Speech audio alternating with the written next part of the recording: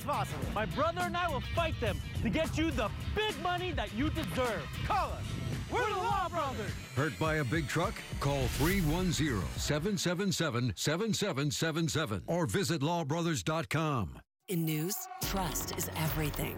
At News Nation, we're earning it every day through honest reporting, checking the facts, and representing all sides. News Nation is getting noticed for reporting that's down the middle, for news that's fact based and reliable, and a trust rating that's higher than CNN, Fox, or MSNBC.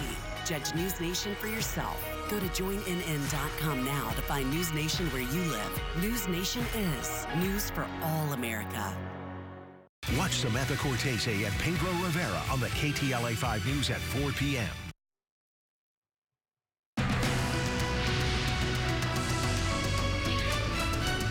Now at four, flooding, mudslides, and washed out roadways from Hilary. Now parts of the Southland are cleaning up following the historic tropical storm.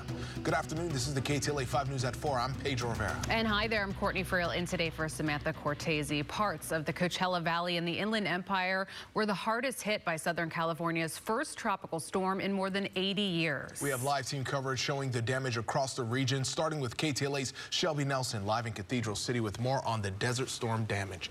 Shelby.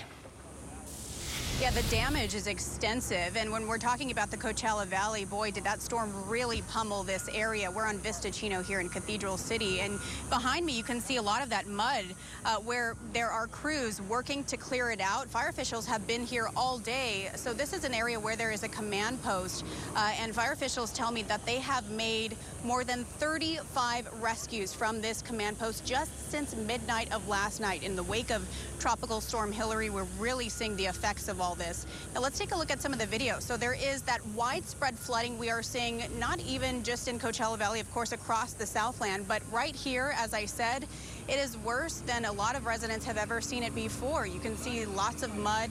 Some homes were just completely buried. Some cars were buried. People became stuck. Palm Springs Fire tells us that they had to make two swift water rescues, and then that was in the teens for Cathedral City. Now, where we are uh, in this area on Vista Chino, so they, again, had to make several rescues from this area. I'm told there was a uh, medical emergency at a gas station nearby. They also had to rescue four people off a train. The train was literally stopped in its tracks after that flooding just washed over the tracks.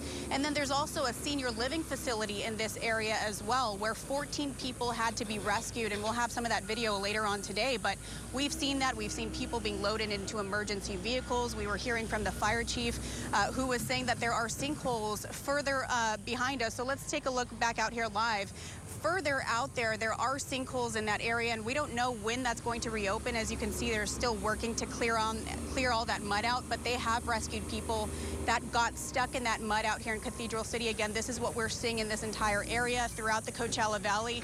Earlier today, I did speak with the mayor of Coachella, who was telling me that Avenue 50 over there was also inundated by floodwaters. He says it's going to take 90 days to be able to fix that. They say that they believe they've got permanent damage over there. So we're talking to several officials around the Coachella Valley as well as the chief here in Cathedral City about all this flooding and what they are doing to mitigate all this. We've got some more images to show you, but for now, live here in Cathedral City, I'm Shelby Nelson, KTLA 5 News. And I'm glad you got out of your situation safely. Shelby, yeah. thank you so much. Meantime, rescues are underway in the Inland Empire after Hilary triggered flash flooding and debris slides that left some residents trapped. KTLA's Lauren Lister is live in Oak Glen with more on the damage and rescue efforts there. Lauren.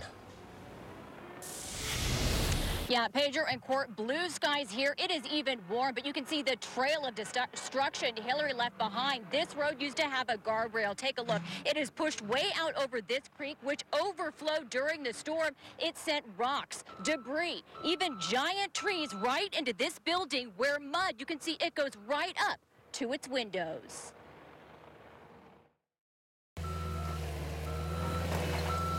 Crews cleaning up mud and debris in the community of Oak Glen, less than 24 hours after Tropical Storm Hilary dumped rain that sent water overflowing creeks and flooding down streets. In the morning, the damage revealed. What's your reaction seeing the damage of this storm?